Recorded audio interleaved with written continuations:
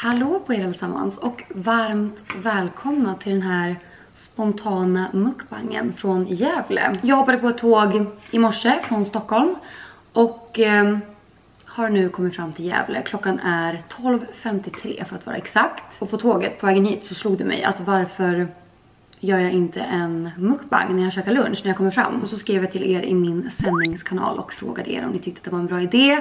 Och det gjorde ni. Och sen så bad jag också er att snabbt eh, skicka lite frågor eller förslag på ämnen till den här videon. Och ni är ju så goa va? Och ställer upp i vanlig ordning. Så att nu har jag en massa DMs här från er. Och jag är så hungrig och sugen på sushi så att det här det blir så bra. Det här är en sushi-restaurang som jag aldrig har testat förut. Men den ligger precis vid tågstationen. Så att jag plockade upp det här på vägen hem. Nomad heter den. Och de ligger redan på plus hos mig. För att man kunde beställa extra ingefära så här. Och det var ingen liten låda man fick. Mums. Wow, det ser fint ut. Ni får också ha lite överseende med, med ljuset. Det är en grå, regnig dag. Även idag. Så det är ju det här ljuset vi har att jobba med. Så här års. Men jag tänker att det kan vara lite mysigt för this occasion. Lite burr liksom. Mm. Mos. Det är jag och Klara som säger sådär. Det kanske inte låter helt... Alltså istället för mys så säger vi mos. Mosigt. Vi var ju på stan igår. Jag och Klara. Alltså vi... Eh, vi har verkligen eh, tagit fram tanten i oss under den här hösten. Alltså vi har varit hemma mycket, vi har lagat middagar hemma, vi har gått promenader, vi har kollat på Idol, haft myskvällar. Alltså verkligen så här, inte festat eller varit ute sent eller något i den stilen. Det har liksom varit hemma, mys. Och jag har älskat det. Men vi båda har typ kommit till, till punkten nu att vi är så här, är det dags att öppna den andra dörren lite på glänt bara. Hör hur töntigt det här låter. Men, men jag vet inte, jag tycker typ att det är lite mysigt att sitta och, och diskutera och typ så här känna efter så här vilken period är jag i livet nu och vad är, jag, vad är jag sugen på nu? För allt går ju verkligen i perioder. Alltså jag har haft noll sug efter fest och mingel och, och jag vet att jag och Klara pratade om det att så här, vi kunde typ känna oss lite stressade att så här, vart är det här suget? Alltså varför vill vi typ inte träffa folk och varför vill vi typ inte göra roliga grejer? Men sen var vi duktiga på att påminna varandra om det att så här, det här är ju en period och den perioden vi är i nu. Det kommer ju komma en period snart med all säkerhet igen när vi känner något helt annat. Och det börjar komma nu, alltså jag vet inte, jag känner mig öppen. Mm. Nu kommer jag inte ens fram till vad fan vi gjorde igår. Vi var på ett um, event igår, ett Lyko-event och det var så, så mycket folk. Och sån stor butik. Och det var länge sedan jag träffade så mycket folk som man känner igen liksom. Så jag känner absolut av det då, att det var mycket intryck igår. Men jag tyckte också att det var väldigt kul. Nu ska vi få ordning på det här också. Ni kanske vill se lite närmare. Jag tog alltså en avokadorulle idag. Den såg väl fin ut. Jag brukar ju alltid ta tempura men idag vill jag testa den här. Och sen några vanliga gamla goingar. Laxnigiri. Men jag tycker att det ser så fint ut. Man ser ju oftast på sushi om den är god. Um, och bra liksom. Jag lägger sojan här tänker jag. Gud jag är så hungrig, min mage bara kurrar. Nu känner jag att jag måste börja innan någonting annat.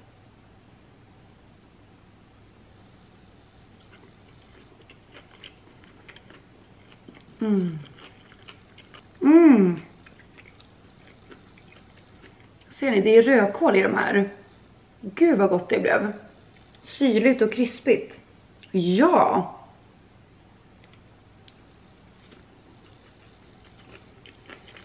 Mm. Wow. Den här får högt betyg alltså. Satan gott.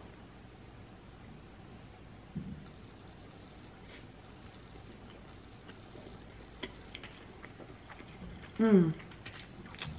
God lax också. Mm. Ska jag fortsätta bara babbla på lite grann eller? Det känns som att det var länge sedan jag bara satt och babblade av mig. Det kanske kan vara härligt. Jag kan, ehm, jag kan berätta lite om min vecka. I måndag så hade vi en plåtning för Alexa för en superfin kampanj som ligger mig väldigt varmt om hjärtat.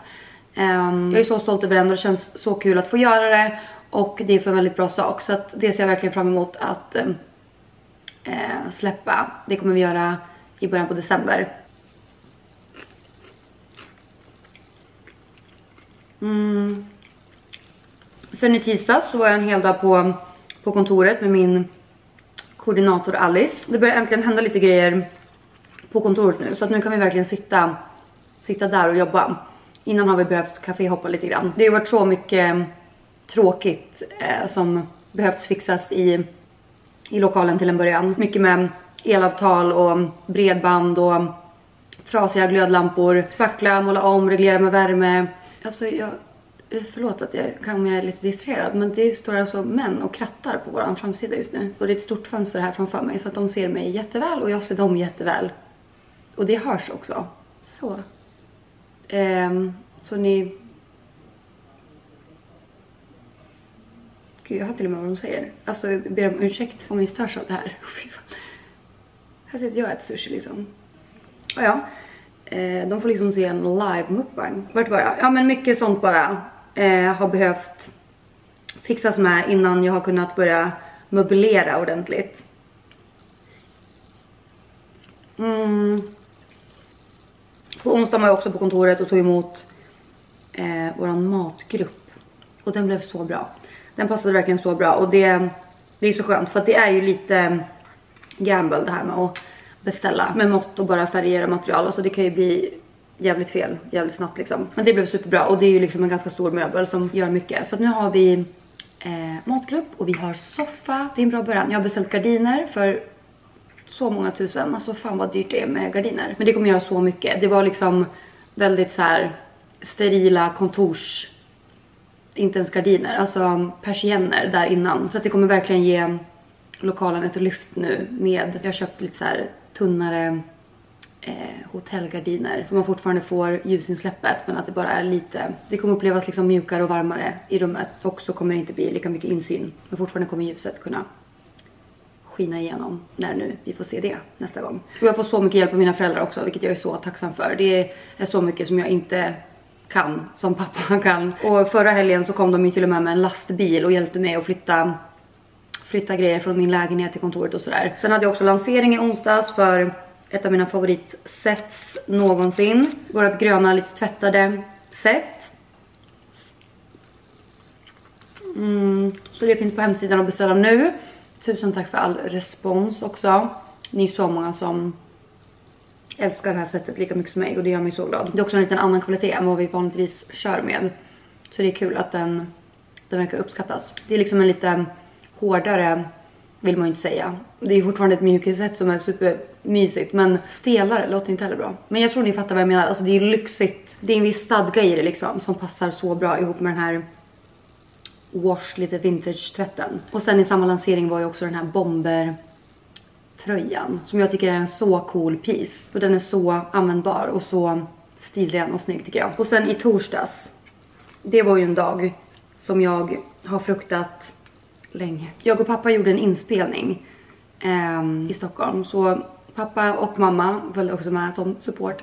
Eh, kom till Stockholm igen eh, en tidig torsdagsmorgon och så gjorde jag och pappa den här inspelningen och ni kommer fatta väldigt, väldigt snart vad det var för inspelning. Men eh, jag gör ju inte sånt, det vet ju ni. Jag har ju fått lära mig mycket i och med min terapi nu varför jag fungerar som jag gör när det kommer till den biten. Vi pratar väldigt mycket om det. Att det här med självständighet och kontrollbehov ofta hör ihop. Och jag har ju varit självständig yrkesmässigt hela livet. Och hon har också fått mig att förstå att jag har fan varit med om en del.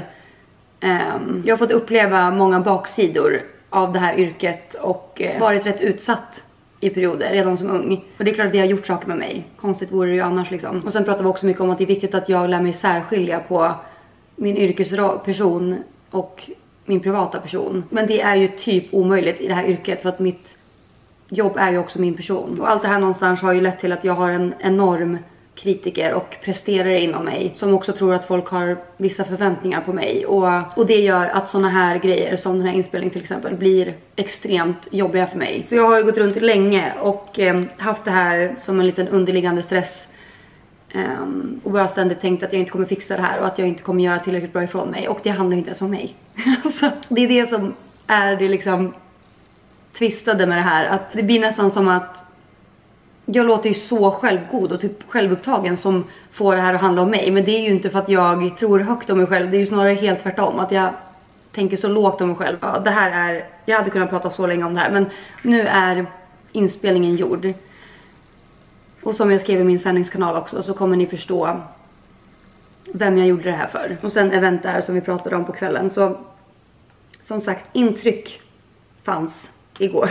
Så därför känns det helt jäkla underbart att nu få en hel helg hemma med min familj i Gävle.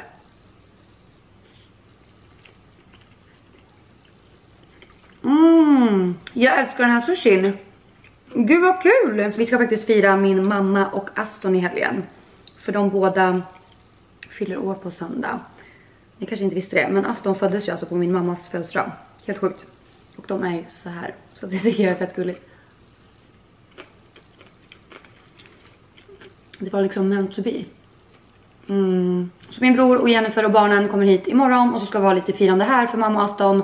Och sen på söndagen så kommer de hålla i ett firande för Aston Eh, på deras hemmaplan i Falun. Så det kommer bli svinmysigt.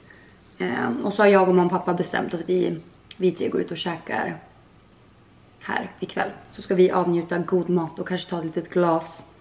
För det kommer inte bli så mycket, mycket av sånt på, på de andra firandena. Så det känns som att det kommer bli en perfekt helg med lite blandning av allt. Men nu ni har jag babblat på och jag har inte ens börjat läsa era DMs. Gud, jag brukar ju direkt hoppa in i frågor när jag gör mina mukbangs. Men ni får säga om ni tyckte att det här var mysigt att jag bara recapade lite och pratade lite fritt.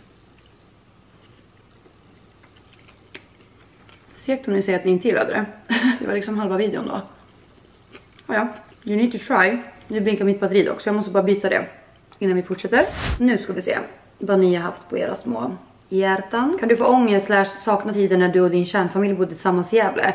Att sakna att den tiden aldrig kommer tillbaka. I sådana fall, hur hanterar du detta? Alltså självklart saknar jag det. Um, men det har ju blivit så bra för oss alla. Så att jag hade ju inte velat haft det på något annat sätt heller. Vi har ju aldrig haft det så bra som vi har det nu.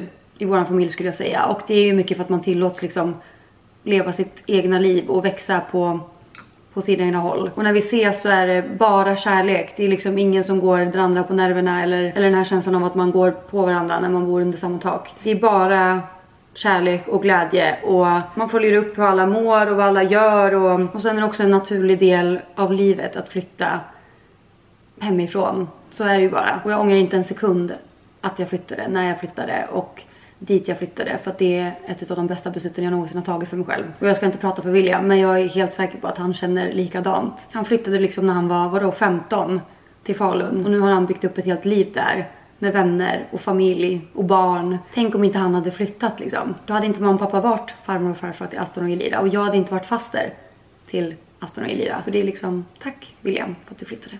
Nej men ni fattar, det har bara kommit gott av att jag och William flyttade hemifrån Sen finns det absolut saker jag saknar med, med att vi bodde tillsammans. Som att vi satt och åt middag varje kväll tillsammans och pratade om våra dagar. Men det kan vi fortfarande göra, men bara inte lika ofta.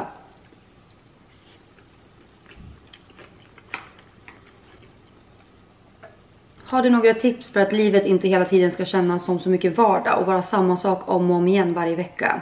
Också om man inte har möjlighet att åka på resor flera gånger per år. Så bra fråga verkligen och jag förstår jag förstår vad du menar.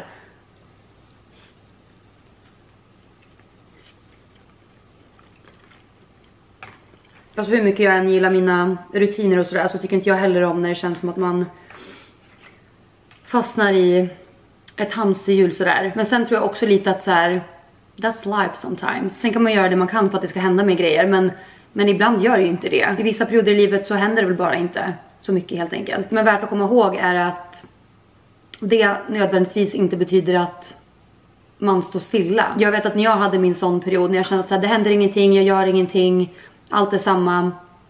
Det var också då jag växte som mest tror jag. Och det här kanske är din sån period. Så försök att se den snarare som ett tillfälle att så här, sätt dig ner och, och bara djupdyk i det här. Vad vill jag göra? Och vem vill jag vara? Jag fick ut så mycket av min sån period så jag ser den liksom inte ens längre som en svacka. Sen tänker jag också att det är viktigt att inte bara leva för helgen. Det känns som att det är så många som sparar grejer till helgen. Men vad är det som säger att du inte kan göra de här helgaktiviteterna en vanlig tisdag? Det tycker jag är så viktigt för att känna att dagarna inte bara är samma hela tiden. Alltså boka den där aven med din kompis en måndagkväll. Eller gå upp lite tidigare än vanlig onsdag och gör din absoluta favoritfrukost som du annars bara skulle göra en lördag. Bjud hem någon du tycker om på middag. en torsdag, så alltså, ni fattar. Fyll även vardagarna med saker och människor du tycker om. Då lovar jag dig att du inte kommer känna att dagarna bara är likadana.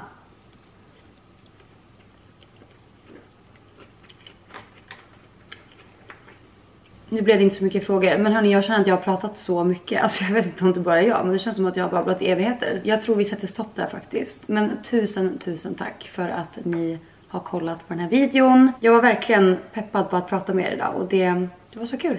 Så tack för idag så ses vi igen snart. Puss!